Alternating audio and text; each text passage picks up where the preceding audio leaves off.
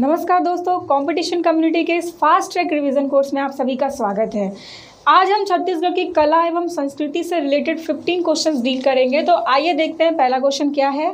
बस्तर के गोंड मुरिया जनजाति के बीच बजाई जाने वाली चार छिद्रों वाली बांसुरी को क्या कहते हैं? इसमें ऑप्शन दिया गया है A Chitkul, B Baunsi, C Sulud और डी रायगढ़ी। तो हम वन बाय वन करके इन सारे ऑप्शंस को डील करते हैं और देखते हैं कि इसका सही आंसर क्या है। तो देखिए, इसमें ऑप्शन नंबर ए है चिटकुल। चिटकुल जो है, वो जनजातीय क्षेत्र में जो मंजीरा होता है, उसे चिटकुल कहा जाता है। मंजीरा जो होता है, वो जहांज का एक छोटा सा रूप होता है, जो कि धातु के गोल टुकड़े से बना होता है और इसका प्रयोग कब किया जाता है? जब कोई भक्ति गायन होता है, भजन होता है, गीत होता है तो इस प्रकार जस गीतों में इस वाद्य यंत्र का प्रयोग किया जाता है। एक सपोर्टिंग इंस्ट्रूमेंट के रूप में इसको यूज़ किया जाता है। तो हमारा ऑप्शन ए जो है, ये तो आंसर नहीं होगा। बाउंसी। हल्बी भत्री क्षेत्र में बांसुरी को बाउंसी कहा जाता है। ठीक? तो ये भी हमारा आंसर नहीं होगा। सुलुड। सुलुट जो है, ये है बस्तन के गोंड मुड़िया जनजाति के बीच जो बजाई जाने वाली दो हाथ लंबी चार छिद्रों वाली जो बांसुरी होती है, उसे क्या कहा जाता है? सुलुट कहा जाता है। तो इस प्रकार से इस क्वेश्चन का आंसर सी हो जाएगा, लेकिन ये भी देख लेते हैं कि रायगढ़ी क्या होता है। जो दंतेश्वरी माता का मंदिर है दंतेवाड़ा में वहाँ सुबह और शाम को जब माता की पूजा की जाती है तो इस रायगढ़ी वाद्य यंत्र को बजाया जाता है। ये जो वाद्य यंत्र होता है, ये पीतल का बना होता है और डमरू के आकार का होता है। वितत वाद्य यंत्र होता है, जिसके दोनों ओर क्या होता है, बकरे का चमड़ा मड़ा होता है और इसे बेद के दो छोटे छोटे डंडों से बजाया जाता है। ठीक तो इस प्रकार से इस क्वेश्चन का सही आंसर क्या हो जाएगा? ऑप्शन नंबर सी सुलुड अब हम आते हैं अपने नेक्स्ट क्वेश्चन पे। नेक्स्ट क्वेश्चन है छत्तीसगढ़ में रहस लीला किन शासकों के काल से चली आ रही है? इसमें ऑप्शन दिया गया है ए गुप्त काल से बी मराठों के काल से सी कलचूरी काल से और डी ब्रिटिश काल से। तो देखिए, इस क्वेश्चन का आंसर जानने के लिए हमें ये जानना पड़ेगा कि रहस्य लीला की उत्पत्ति कहाँ से हुई। तो वैसे तो ये बुंदेलखंड का प्रचलित लोक नाट्य है, लेकिन हम छत्तीसगढ़ की बात करें तो कृष्ण लीला पर केंद्रित ये जो रहस्य है, ये छत्तीसगढ़ में बिलासपुर या उसके आसपास के क्षेत्रों में प्रचलित है। उत्तर रीतिकालीन काव्य धारा को छत्तीसगढ़ में प्रचलित करने का श्रेय जो है वो किसे जाता है? संस्कृत के महाकवि बाबू रेवाराम को जाता है और इन्हें ही रतनपुरिया गम्मत और रहस्य का प्रणेता माना जाता है। जो बाबू रेवाराम जी हैं, इनका जन्म 1812 ईस्वी में रतनपुर में हुआ था। देखिए, ये समय कौन सा है? 1812 ईस्वी। और उस समय मध्य छत्तीसगढ़ में या हम कह सकते हैं दक्षिण कौशल का जो एरिया था, वहाँ पर कलचूरी शासक जो है वो राज्य कर रहे थे। कलचूरियों का यहाँ पर शासन था। तो इस प्रकार से हम ये कह सकते हैं कि इसका जो सही आंसर होगा वो क्या होगा? ऑप्शन नंबर सी, कलचूरी काल से। जो बाबू रेवाराम जी हैं, ये कलचूरी कालीन महाकवि हैं, साहित्यकार हैं, नाट्यकार हैं और ये जो हमारे यहाँ छत्तीसगढ़ का जो रहस्य है वो बाबू रेवाराम के द्वारा भागवत श्रीमद् भागवत के दशम स्कंद के आधार पर जो पांडुलिपि तैयार की गई है, उसी के कथानक पर आधारित है ये जो रहस्य है, जिसे क्या कहा जाता है, यहाँ पर रहस्य गुटका कहा जाता है। और जितने भी रहसधारी होते हैं, वो इस हस्तलिखित गुटका को अपने साथ रखते हैं, और इसी के स्टोरी के बेस पे क्या होता है, रहस्य लोक नाट्य का मंचन होता है। अब हम आते हैं अपने थर्ड क्वेश्चन पे। थर्ड क्वेश्चन है, चिन्हारी नाचा पार्टी किससे संबंधित है? देखिए, यहाँ पर दिया गया option A Ramchandra Deshmukh B स्वर्गीय दाऊ दुलार सिंह मंदराजी सी ममता चंद्राकर और डी दाऊ महासिंह चंद्राकर तो देखिए, ये जो नाचा है, ये छत्तीसगढ़ का सबसे प्राचीन और प्रमुख लोक नाट्य है, जिसका आयोजन बस्तर को छोड़ के लगभग पूरे छत्तीसगढ़ में किया जाता है। नाचा में केवल पुरुष पार्टिसिपेट करते हैं और बहुत सारे पुरुषों के द्वारा इसका आयोजन किया जाता है, इसलिए क्या कहते हैं, इसे नाचा पार्टी कहते हैं। ठीक है? इसका जो विषय होता है, वो जीवन के सत्य की छोटी छोटी घटनाएँ होती है, या फिर हम ये कह सकते हैं कि जो भी हमारे समाज में कुरीतियाँ या जो कुप्रथा चल रही है, उस पर प्रहार किया जाता है इस नाचा लोक नाट्य के ज़रिए। ठीक? अब हम ऑप्शन में देखते हैं कि ये जो रामचंद्र देशमुख हैं। इनका जो नाचा पार्टी है, उसका नाम है चंदैनी गोंदा और देहाती कला मंच और जो दाऊ दुलार सिंह मंदराजी है, इसे नाचा पार्टी का भीष्म पितामह कहा जाता है। नाचा का भीष्म पितामह कहा जाता है क्योंकि इन्होंने छत्तीसगढ़ में पहली संगठित नाचा पार्टी की स्थापना की थी, जिसका नाम है रवेली नाचा पार्टी। 1928 में इसकी इन्होंने स्थापना की थी। ऑप्शन नंबर सी देखते हैं, ममता चंद्राकर। ममता चंद्राकर जी जो हैं, वो छत्तीसगढ़ रत्न और पद्मश्री से विभूषित छत्तीसगढ़ की स्वर कोकिला के नाम से प्रसिद्ध हैं। इन्होंने जिस नाचा पार्टी की स्थापना की थी, इसका नाम है चिन्हारी नाचा पार्टी। तो इस प्रकार से इस क्वेश्चन का आंसर क्या हो जाएगा? Option number C Mamta Chandrakar. हम अपने नेक्स्ट क्वेश्चन पे आते हैं। बस्तर संभाग में प्रथम मड़ई का आयोजन। कहाँ किया जाता है? इसमें ऑप्शन दिया गया है A Narayanpur, B Keshkal, C Kanker और डी केसरपाल। तो देखिए, ये जो मड़ई है, ये विजय का प्रतीक होता है। बस्तर संभाग में मड़ई मेलों का जो आयोजन है, वो फ़सल कटाई के बाद मतलब कि दिसंबर के बाद जनवरी से ये जो है प्रारंभ हो जाता है। मड़ई का मतलब होता है देवी की स्थापना स्थल। मतलब ये जो मड़ाई है, ये बाहरी तौर पर तो बाकी मेलों की तरह ही दिखता है, लेकिन इसमें आदिवासी संस्कृति और धार्मिकता का अपूर्व संगम देखने को मिलता है। जो सबसे पहली मड़ाई होती है बस्तर संभाग की, वो जगदलपुर के समीप, जो केसरपाल में केसरपालिन मंदिर है, वहाँ माँ केसरपालिन के सम्मान में भरती है। उसके बाद बाकी स्थानों पे मड़ाई का आयोजन किया जाता है। तो देखिए, यहाँ पर ऑप्शन दिया गया है नारायणपुर। नारायणपुर का जो मड़ाई है, वो फरवरी माह में लगता है। नारायणपुर का मड़ाई जो है, पूरे बस्तर संभाग में सबसे ज़्यादा प्रसिद्ध है। केश काल की जो मड़ई है, वो होली के आसपास का समय होता है। मार्च के माह में यहाँ मड़ई का आयोजन किया जाता है। कांकेर का जो मड़ई है, वो जनवरी माह के पहले रविवार को इसका आयोजन किया जाता है। और जो केशर पाल है, जो कि इस क्वेश्चन का सही आंसर है, उसका जो मड़ई है, वो अगहन पूर्णिमा को इसका आयोजन किया जाता है। तो इस प्रकार से देखिए, सबसे पहले किसका मड़ई लगता है? केसर पाल का लगता है। फिर कांकेर का देन नारायणपुर का मड़ाई और उसके बाद केश काल में मड़ाई का आयोजन किया जाता है। तो इस प्रकार से इस क्वेश्चन का सही आंसर क्या हो जाएगा? Option number D next question है, बस्तर में मुरिया दरबार का आयोजन कब किया जाता है? इसमें ऑप्शन दिया गया है ए गोंचा पर्व के अवसर पर, बी, मड़ई के अवसर पर, सी, फ़सल कटाई के अवसर पर और डी, बस्तर दशहरा के अवसर पर। तो इसका सही आंसर होगा डी, बस्तर दशहरा के अवसर पर। अब इसका सही आंसर बस्तर दशहरा के अवसर पर कैसे होगा, ये देखते हैं। तो बस्तर में पहली बार मुरिया दरबार का जो आयोजन है, वो जब अठारह सौ छिहत्तर में मुरिया विद्रोह हुआ था उस समय वहाँ के जो आदिवासी लोग थे, उनके मन में जो भी असंतोष था, जो भी समस्याएँ थी, उनको सुनने के लिए और उसके निराकरण के लिए पहली बार अठारह सौ छिहत्तर में मुरिया दरबार का आयोजन किया जाता, किया गया था। और उसके बाद से लगातार प्रतिवर्ष बस्तर में मुरिया दरबार का आयोजन किया जाता है। ये जो समय है, ये बस्तर के दशहरे के अवसर पर इसका आयोजन किया जाता है। जो बस्तर का दशहरा होता है या फिर हम ये कह सकते हैं कि जो मैदानी क्षेत्रों में जो दशहरा होता है, उसके दूसरे दिन इसका आयोजन किया जाता है। इस मुरिया दरबार का आयोजन जो है, बस्तर में जो जगदलपुर में सिरहासार भवन है, वहाँ शाम को पाँच बजे इसका आयोजन किया जाता है। पहले क्या होता था इस मुरिया दरबार में कि जो भी ग्राम के जो हेड हुआ करते थे ग्राम के जो मुखिया हुआ करते थे, वो अपने ग्राम की पूरी समस्याओं को लेकर यहाँ पर हाजिर होते थे, राजा के समक्ष उसे रखते थे और उसका निराकरण किया जाता था राजा के द्वारा। लेकिन वर्तमान में चूँकि राजा की शक्तियाँ कम हो चुकी है तो अब वहाँ पर क्या होता है कि जितने भी लोग होते हैं अलग अलग प्लेसेस के जो जनप्रतिनिधि होते हैं, वो क्या करते हैं, यहाँ पर आते हैं और वहाँ पर कौन बैठा होता है? वहाँ पर विभिन्न विभागों के अधिकारी बैठे होते हैं और उनसे क्या होता है कि विभिन्न मुद्दों पर विचार विमर्श किया जाता है और जो भी समस्याएँ होती होती है, उसे बताया जाता है और उसके निराकरण के लिए उपाय ढूंढे जाते हैं। ठीक? तो इसका सही आंसर क्या हो गया? Option number D. अब हम आते हैं अपने नेक्स्ट क्वेश्चन पे। निम्न कथनों पर विचार करें। देखिए, यहाँ पर चार कथन दिए गए हैं, चार स्टेटमेंट दिया गया है। आइए से पढ़ते हैं। पहला कथन है जेठौनी का त्यौहार कार्तिक माह में मनाया जाता है। तो हाँ जेठौनी का जो त्यौहार है, जिसे देवउठनी एकादशी भी कहते हैं, इसे कार्तिक शुक्ल एकादशी को मनाया जाता है। मतलब कि दिवाली के ग्यारहवें दिन।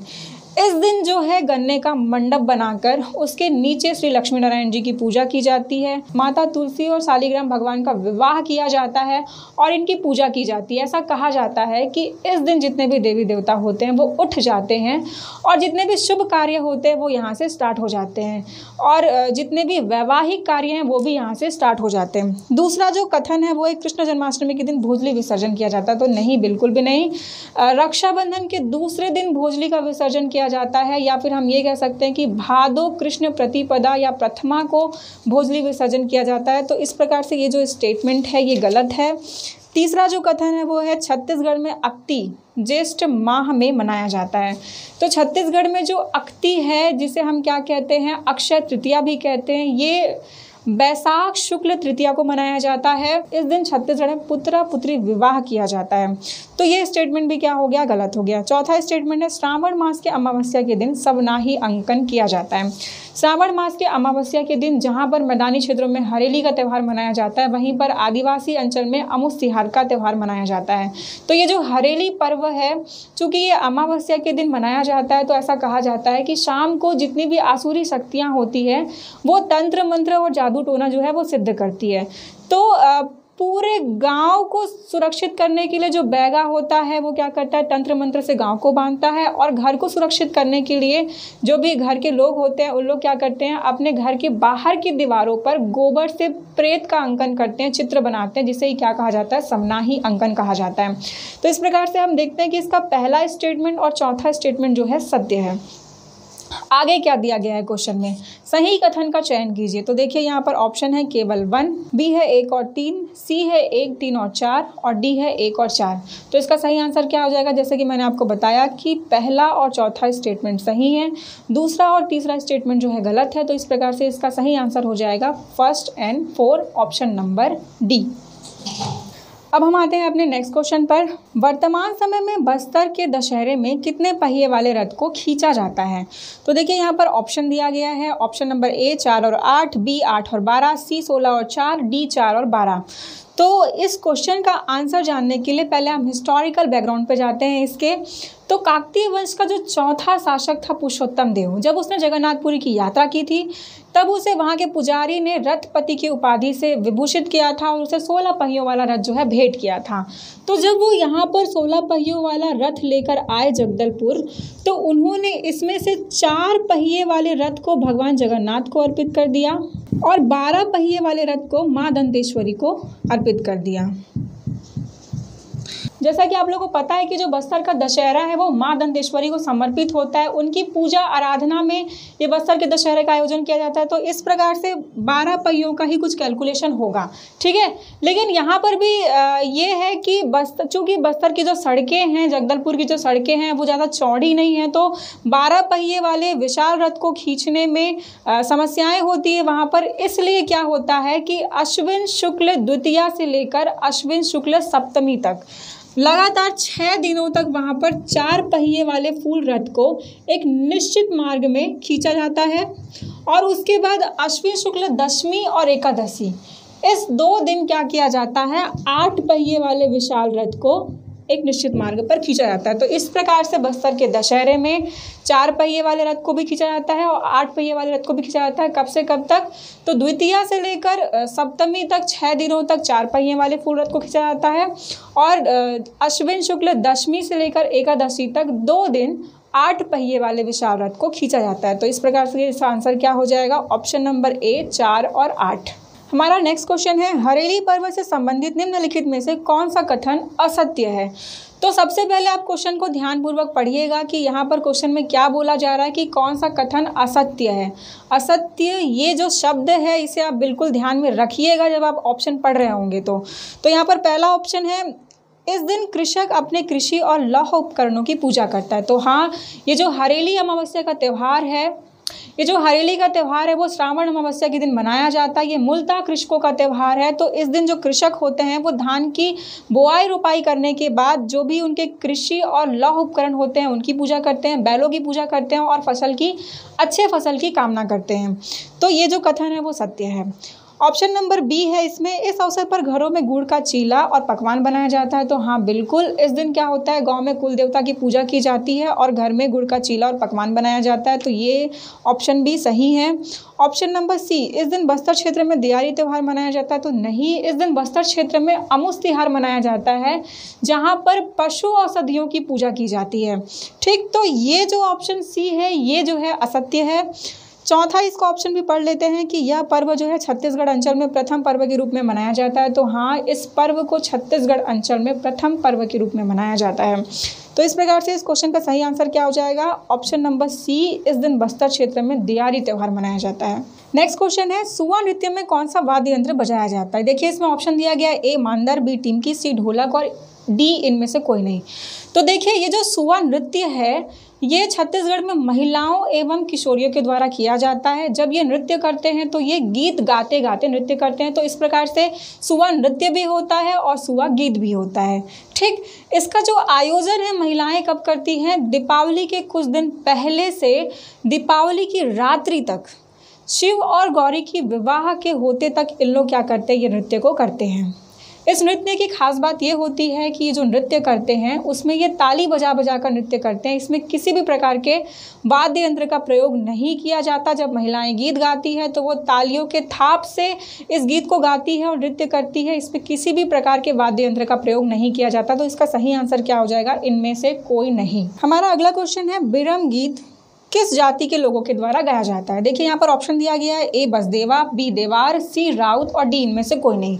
तो यहाँ पर जो ऑप्शन दिया गया है, बसदेवा, देवार और राउत, ये सभी जाति के लोगों के द्वारा एक पर्टिकुलर गीत गाया जाता है, जिसे जाति गीत कहा जाता है। जाति गीत का मतलब क्या होता है कि ये इन्हीं जाति के लोगों के द्वारा गाया जाता है।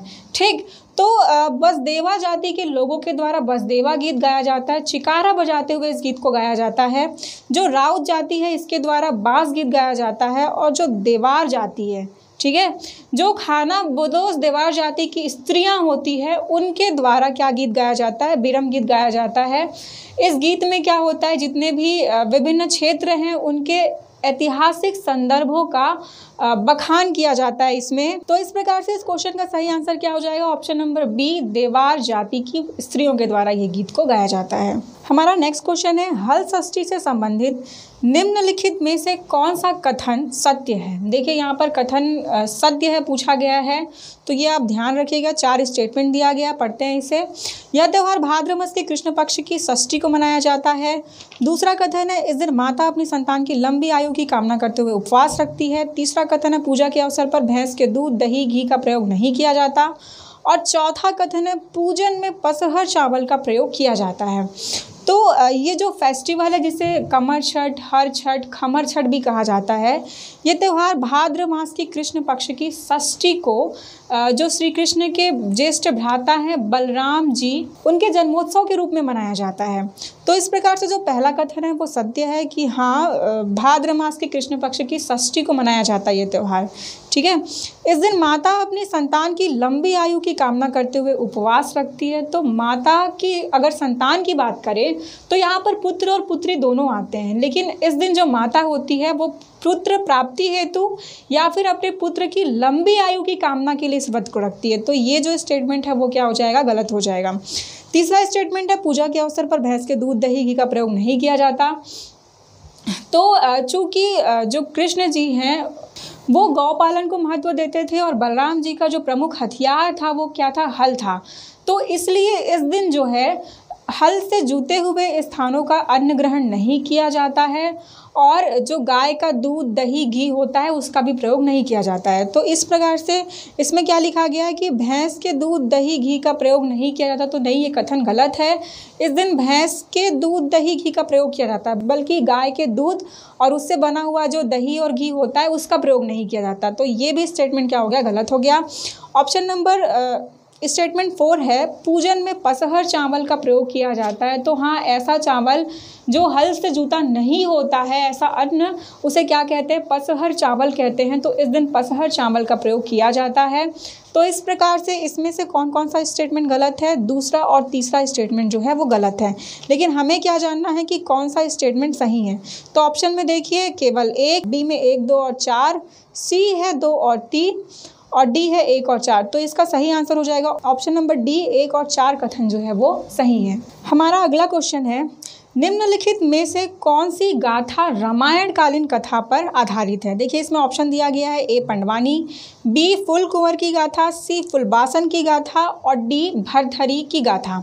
तो हम ऑप्शन को वन बाय वन करके डील करते हैं। देखिए, ये जो पडवानी है, ये महाभारत की कथा पर आधारित है। ये जो लोक गाथा है, महाभारत की कथा का लोक रूप कहते हैं इस पंडवानी को। ऑप्शन नंबर बी जो है, फुल कुंवर की गाथा।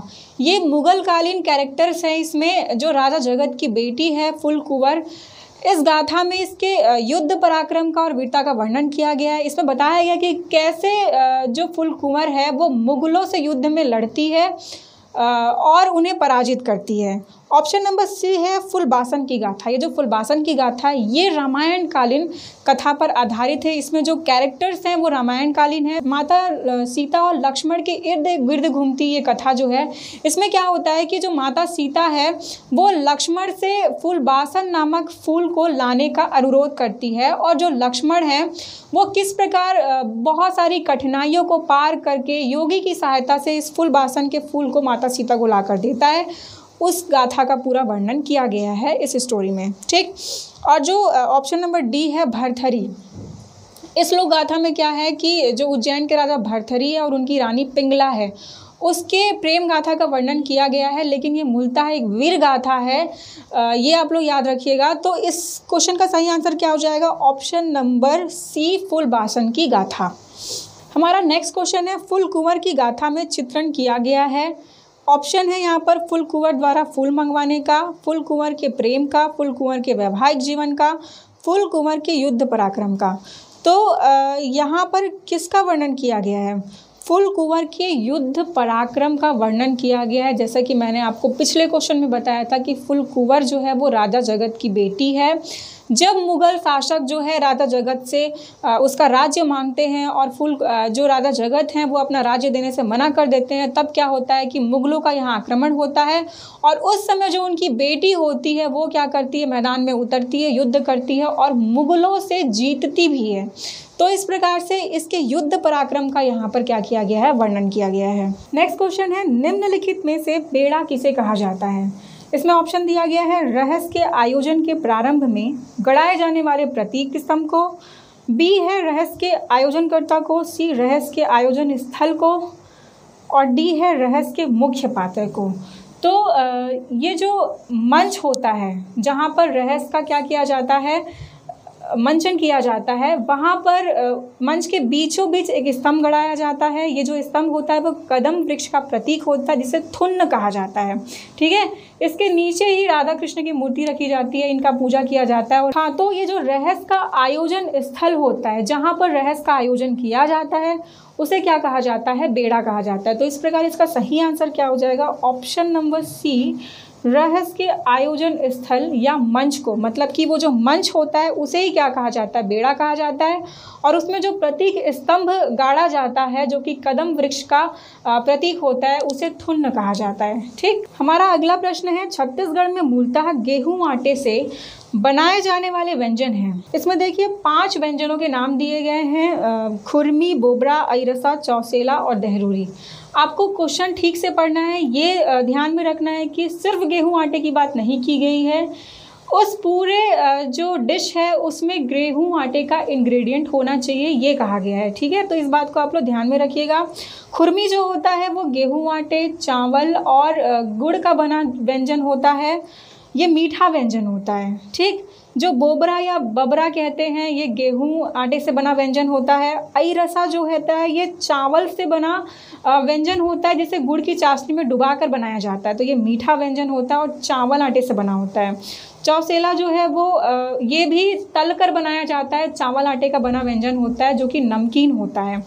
दहरोरी दहरोरी जो है वो दरदरे, चावल और दही से बना व्यंजन होता है, जिसे फिर बाद में क्या कहता है, गुड़ की चाशनी में डुबा दिया जाता है। इसे ही हम लोग क्या कहते हैं, इसे ही छत्तीसगढ़ में देसी रसगुल्ला कहा जाता है। तो इस प्रकार से देखिए, दहरोरी चावल आटे से बनता है, चौसेला भी चावल आटे से बनता है अरसा भी चावल आटे से बनता है।